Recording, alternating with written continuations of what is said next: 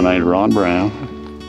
I live at Kellerville, Texas, and uh, I'm a farmer rancher. I actually grew up in the oil field and uh, was always around farming and ranching. I've lived a dream, I guess. It's uh, something I always wanted to do, and, and it took a long time to get here, but uh, I guess with the help of y'all, it's I've got here.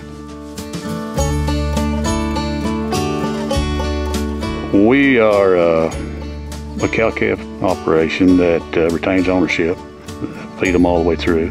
Well, I guess we would be in the cow-calf and in the stocker and then in the feeding business.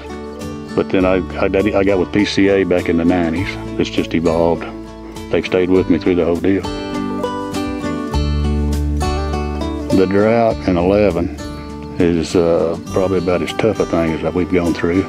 And then the market crash in 16, probably couldn't have done it without, oh, I know I couldn't have done it without. So those would be the toughest things I think that I've been through, probably.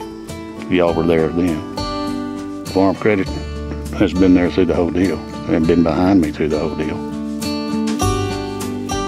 When you go in, you don't have to uh, explain what you want to do. You tell them and they, they understand what the process is. Uh, they understand the feeding end of it. They understand the cow-calf end of it and the stocker end of it. I, I buy equipment through them. I buy land through them. I do my cattle operation, feeding operation. Everything goes through Farm Credit. They've got all my notes. I don't deal with anybody else, uh, just them. And it keeps it simple. They've evolved with me. I mean, it's uh, been a fun trip so far. I got no complaints.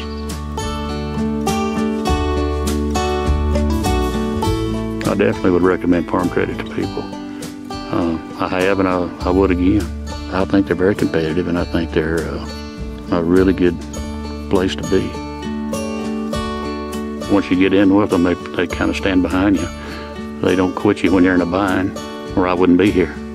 So uh, I, I, definitely recommend them to anybody that's uh, looking for a farm loan or a ranch loan, cattle feeding loan. Uh, they're kind of there for all of it.